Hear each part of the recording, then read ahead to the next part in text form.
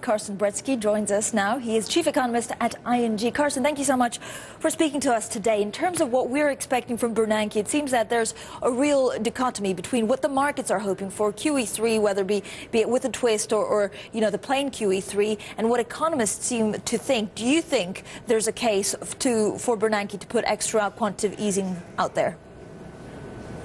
Of course, there is a case because we, we see that the, especially the American economy is, is very sluggish and is again um, maybe at the brink of a recession, so which means which asks for more, more, stimulus. More stimulus cannot come from, from the government right now, so monetary policy is the only tool left you got there to, to get another boost to the American economy. But Carsten, I guess you know the point is that of course in QE2 inflation was nowhere near what we're seeing now. In fact, at the time we were worried about deflation, so there was a real case for the necessity for QE2. Now isn't the case, and actually now what we're seeing is that also QE2 in some cases just didn't work.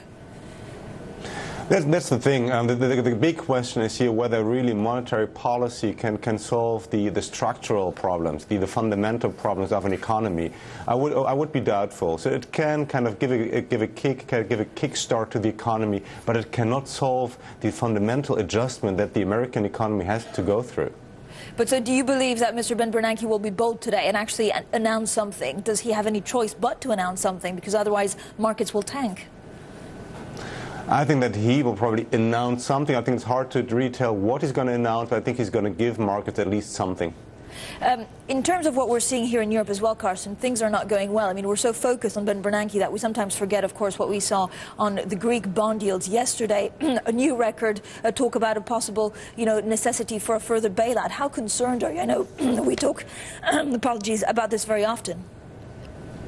Um, I'm, I'm, very concerned here because we see that there is almost a kind of cacophony of, of, of policymakers. Um, just remember a couple of weeks ago, everyone was saying, yes, we have a deal. Now it's about a swift implementation of the deal. Uh, now, just last week, we see all of a sudden there is a collateral issue coming up again. And this casts doubt whether uh, actually the Eurozone leaders are able and are willing to solve the Greek crisis. And I think doubt and uncertainty right now is, is, is poisoning for the, for the Greek. Yeah, and you talk uh, very clearly there about whether governments are willing and able. I mean, if they're not willing, yields surging higher must be a wake up call for these guys. Will the ECB continue buying bonds, or do they just need to leave it for a while until governments realize what they have on their hands? It's, it's, it's, hard to tell. I think, for, especially right now, in the Greek case is, is a separate one. I think here it doesn't make sense for the ECB to, to step up buying bonds. Um, really, politicians have to solve the Greek problem. But of course, it goes beyond the Greek problem because it goes um, to countries like Spain, like Italy. And, and, and here, I think the ECB might Uh, is forced right now to continue purchasing because politicians are not able to really to get their act together and come out with a clear statement and actually live up to the statement. And Carsten, talk to me about the short ban on the, the, short selling ban that was imposed yesterday for another 30 days. A lot of investors say this just skews the market. So when we go back to normality, it's going to be very difficult for investors to see exactly where we're at. Are you for or against it?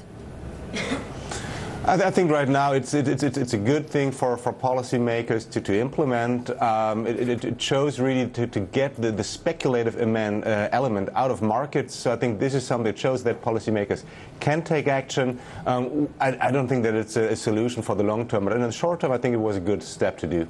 All right, Carsten, a pleasure to speak to you. Carsten Brzeski there.